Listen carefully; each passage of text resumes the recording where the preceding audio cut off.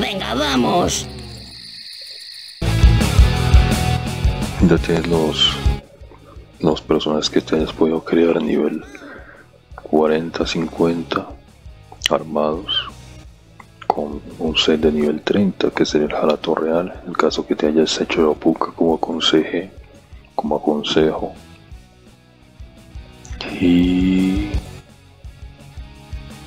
ahora viene entonces la parte de ganar camas para poder abonarte.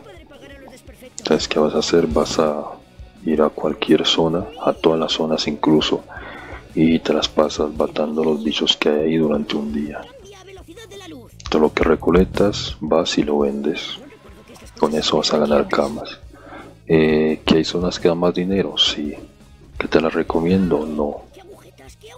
Porque va a ser muy difícil vender 5000 objetos del mismo tipo lo importante más importante que la zona es variedad.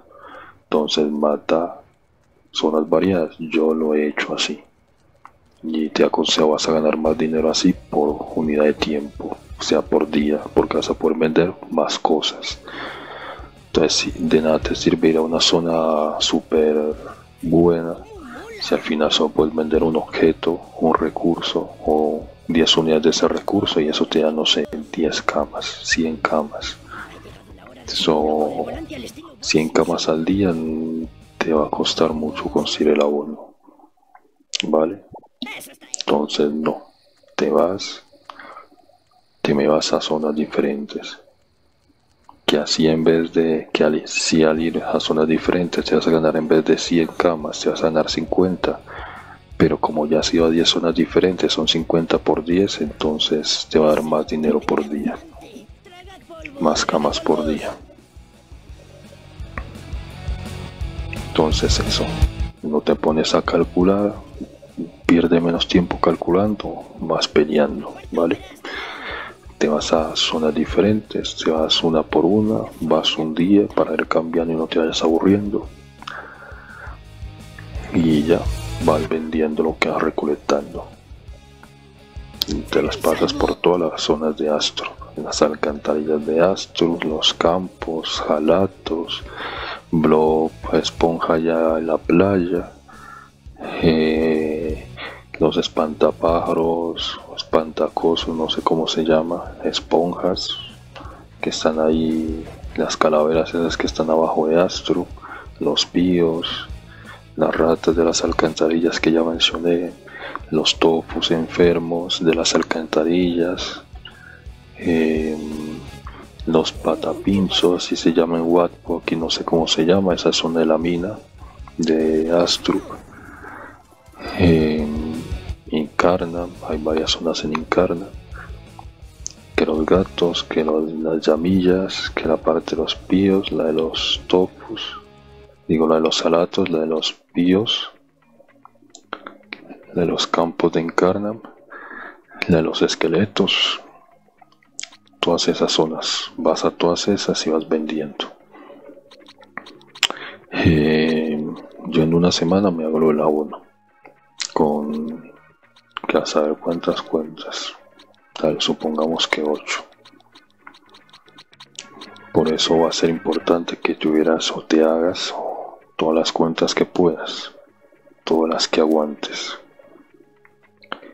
Porque vas a ropear más cantidad.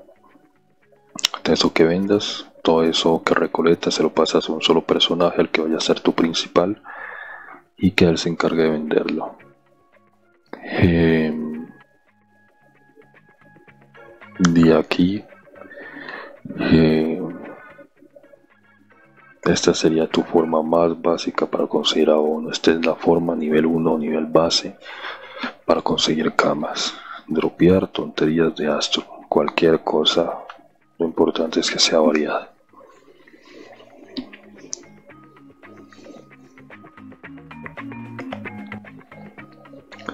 Y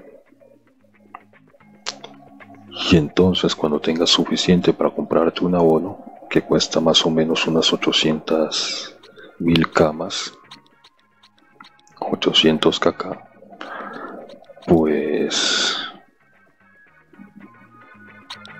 abonas a un solo personaje. no vas a unar a los 8, solo vas a unar a uno. Y vuelves a repetir el proceso de leveo, hacer camas. Usas esa semana, vas, subes, vas a la, a la zona de abonados más alta a la que puedas ir a pelear.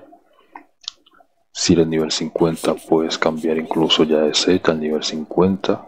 Está creo que el set escarahoja de fuerza. Mm, creo que es el escarahoja verde. Si no es el escarahoja, debe ser el escarahoja, si no más recuerdo. Sé qué, pero debe haber uno que está entre el nivel 40 y 50 que te puedas poner de fuerza. Entonces con ese set, una vez compres ese set y te abones, o sea, antes de abonarte compras el set, pues para ir fuerte. Te abonas, te abonas con un solo personaje y vas a la zona más fuerte que puedas pasar de abono. Están empieza el abono, las zonas de abono es de nivel 40.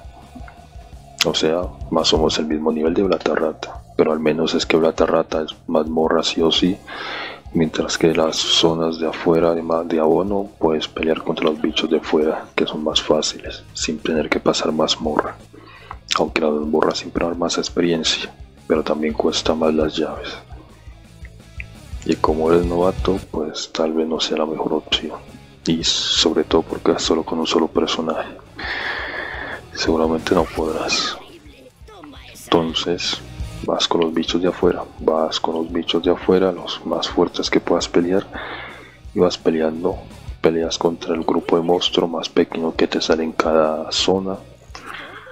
Tú vas calculando cuántos bichos puedes pelear. El bicho más pequeño creo que tiene entre 3 a un, a un monstruo, pues es, contra ese peleas. Por ejemplo aquí sería este la mostarracha, ¿no? Que es apenas uno. Aquí por ejemplo son 5 en ese que seleccioné con el que me comencé a pelear. Entonces, eh, pues eso.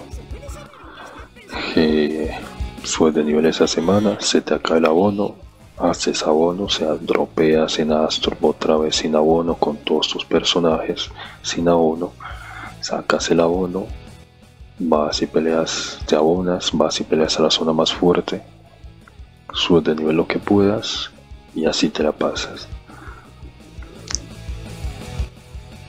Una semana de abono y el resto del tiempo sacándole el abono. Una semana de abono y el resto del tiempo sacándole el abono. Una semana de abono con un solo personaje subiendo de nivel.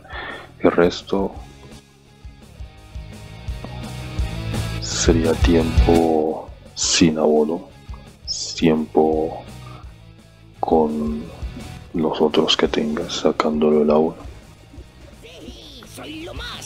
Genial, ahora Subirás hasta que llegues al 150. Irás cambiando de set o de equipamiento, que yo no aconsejo set, yo siempre pongo partes sueltas porque sale más barato.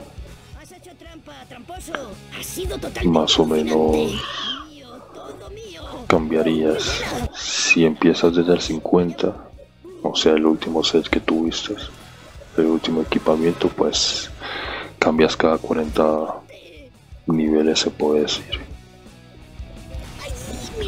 Cada 40 niveles no vale la pena cambiar menos, o sea, más pronto, porque la diferencia no se va a notar, entonces no vale la pena se va a comenzar a notar a los 40. Ahí sí ya comienza a notarse algo significante, significativo.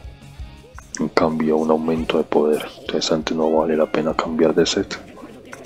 Entonces al 90 te compras el set más de más nivel que puedas. Priorizas que tenga la mayor cantidad de vida posible. Escoges entre las partes, entre los objetos, no partes de set, objetos X sean de set o no, o sea, ignora el bonus de set. Compra la par, las partes que entre las partes que tenga más vida y que estén dentro de tu presupuesto, compra la que tenga más daño. Eso es, todo lo que tienes que hacer para escoger objeto. Entonces coges, en cuanto a daño me refiero a que tenga fuerza, agilidad, suerte, eh, potencia, inteligencia, lo, que necesitas. Eso es todo lo que necesitas, no necesitas más. No, no te mires qué crítico, qué daño fijo, qué daño no, no importa. Hasta que seas 200 no importa, créeme. Perder el dinero y no, no lo necesitas. Yo hago así. Ya estás viendo cómo juego de bien. Ya se hace súper barato. Pero bueno, no nos desviemos. Entonces cambias al 90, compras siguiente set, luego al 130 compras el siguiente y luego al 150 compras el último set. Al 150 compras ídolos, antes no hace falta.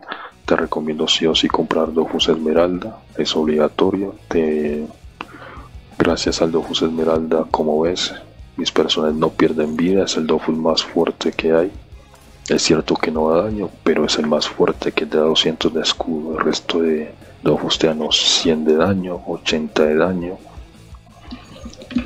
25 de daños fijos, que equivale a más o menos 100 de daño por turno, pero el Esmeralda te da 200 de escudo, pero el 200 es el Dofus más poderoso de todos. Lo puedes poner, te lo puedes poner a nivel 100. Te va a facilitar muchísimo la vida de aquí al 200. Gracias a ese Dofus, porque los bichos no te van a pegar un carajo. Y ya, eso es todo. Aquí ya estarías nivel 150 y sabrías hacerte el abono de la forma más, de la mejor forma o la forma más rápida posible. Y tendrías equipamiento y estarías listo para luchar.